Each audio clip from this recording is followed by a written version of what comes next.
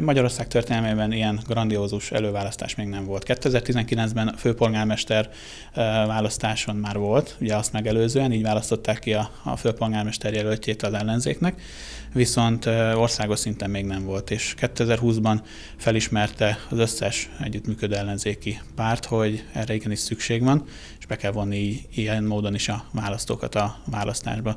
Ugye nálunk Zala 03-as Kanizsa központú választókörzetben eddig kettőnket vették nyilvántartásba, játszintot, illetve jó magamat.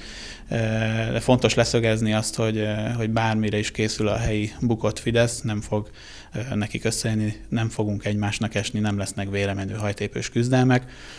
Persze a végén győzön a jobbik, de bármelyikünk is lesz az, támogatni fogjuk. És nagyon fontos még kiemelni azt, hogy Kanizsán meg lehet nyerni az előválasztást, azonban a kormányváltás az a vidék Magyarországa, tehát dél délnyugat Zala választópolgárai nélkül nem lehetséges.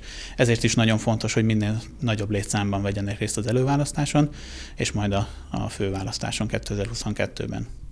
Kicsit koncentrálva a választókörzetetekre, azt már tudjuk, hogy nem olyan kampány lesz, mint amilyet sajnos megszokhattunk az utóbbi időszakban,